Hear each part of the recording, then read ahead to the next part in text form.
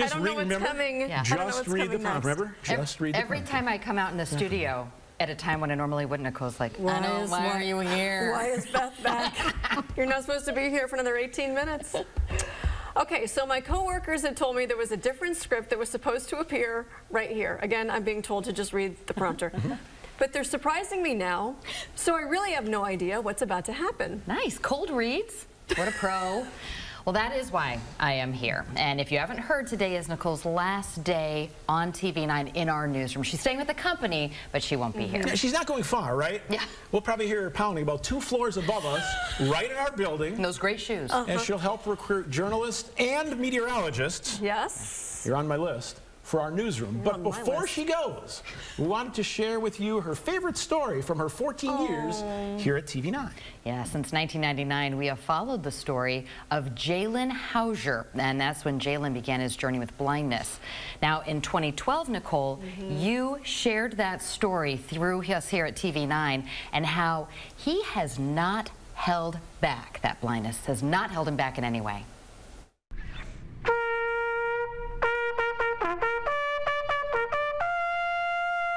In the band room at Solon High School, Jalen Howsare listens, a DDDC. then plays an instrument he's never seen. It's just what a trumpet is. I can't really explain what I think it is in my mind. When Jalen was 18 months old, doctors diagnosed his parents' worst fear. She says, well, I think he has uh, tumors in his eyes. Jalen had bilateral retinoblastoma, one of the worst cases at UIHC in decades. His parents made the difficult choice to remove the tumors and his eyes. We can deal with the blindness. You know, I'm sure that he can deal with that if he's cancer free and doesn't have to fight that the rest of his life. Um, that's a win, we think. Surgery stole his sight, but couldn't steal his spirit. Now at 14, Jalen's a freshman at Solon. He's an A student. His fingers read faster than most eyes in the room. And once he got to high school, it was time to start a new page in his story. His lifelong dream was to be on the drum line and march with us on the drum line. because that was the loudest thing on the field. And when I'd go to football games, and I always liked that. But after a while, I thought the trumpet had a better sound. They said, you know, we have a, a, a blind student coming up and wants to march, and I think that this is a perfect opportunity for us to, you know, as a, a whole band to reach out and make this happen. So began a step by step process to get Jalen in tune with the band. It's 16 counts to somewhere else, maybe. And if I get off or I go too far to the left or too far to the right, someone can grab my shoulder and kind of direct me back to where I'm supposed to be, and then I'll be back on, and everything will go smoothly. Whoever's closest to him takes control and takes him to his next spot and leads him by putting their hand on his shoulder. And he also learns how like to listen around him, so then he just knows how many steps he needs to go to. I know that we form like lines that make shapes, but usually I don't for sure know what shape we're forming.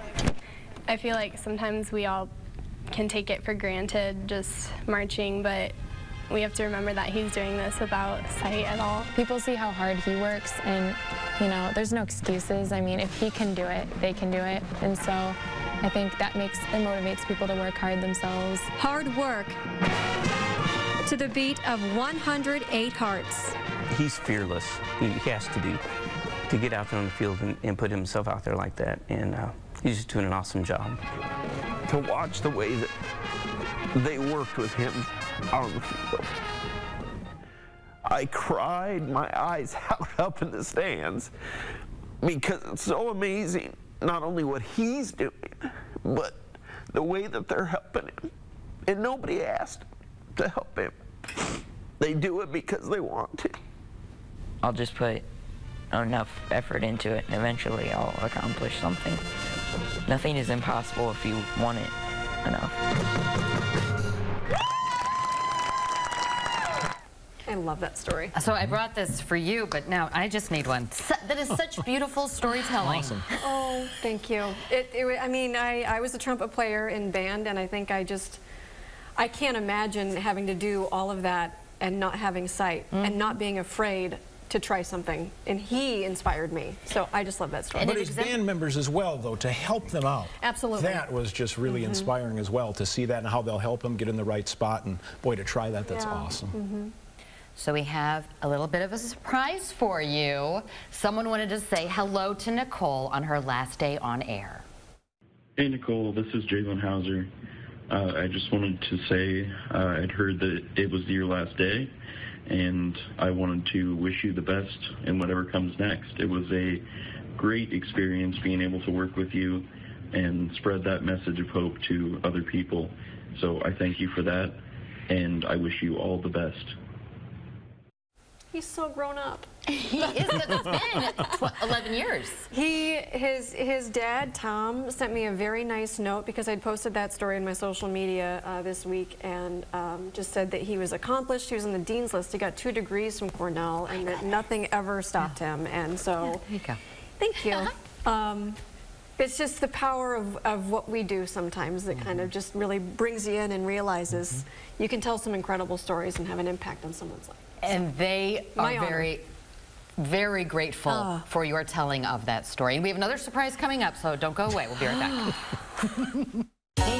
I wore our special shirt for this occasion, but I'm gonna miss you in our newsroom. You know, I was never a big fan of the four o'clock Q and A's, but I was always grateful to do them with you, just because you had this calming presence in the studio. I've always admired your professionalism in this business, and I'm gonna miss you walking by my desk when I got to check out your shoes of the day.